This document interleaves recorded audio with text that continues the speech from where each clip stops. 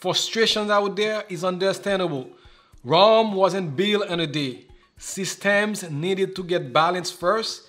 This week, EIDL loan advances will start to be distributed.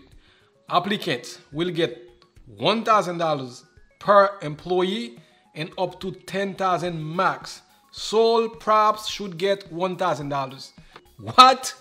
If it's too good to be true, it probably is. Yes, guys, I'm sorry to be the bearer of bad news, but this is directly from the SBA of Massachusetts. This is from the Twitter feed. Remember, guys, after the stimulus package passed, the SBA came out and said, okay, if you're a small business owner, if you're a small business or sole proprietorship, you're self-employed, you're entitled to receive a forgivable loan of to $10,000.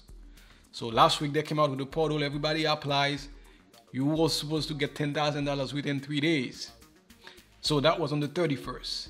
So the, what they said was this was an emergency to get business this money now. They even went on to say if, even if you get denied for the loan, you get the $10,000.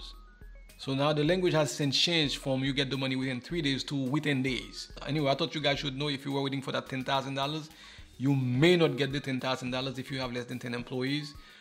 Based on what they're saying is $1,000 per employee up to $10,000 max.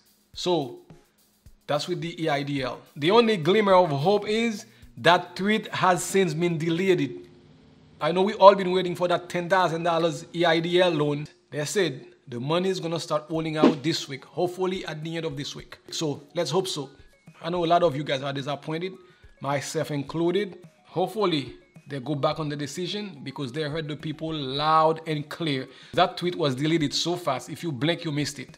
So I'm hoping by deleting this tweet, they got the message. I also do have some kind of good news, guys. So today, Chase started accepting application for the PPP loans.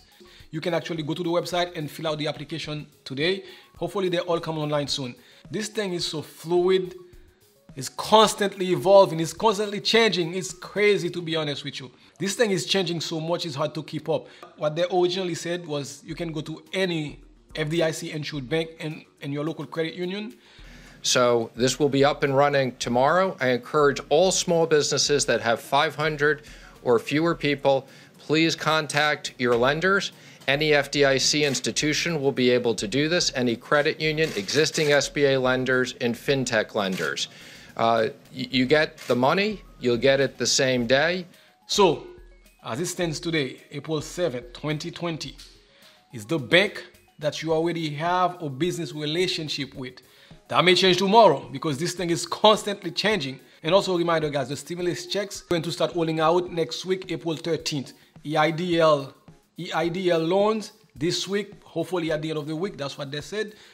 I'm only telling you what they said because this thing is, it's a roller coaster to say the least. As always guys, please give this video a thumbs up so you can help more people watch it. Thank you, thank you again for watching. If this is your first time here, my name is Paul Sunset Realty, and I would love to have you as a subscriber. So, what are you waiting for? Please subscribe so don't miss any of our next videos.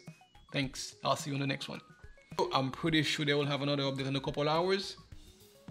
Who knows? So, I'll see you on the next one. Thanks.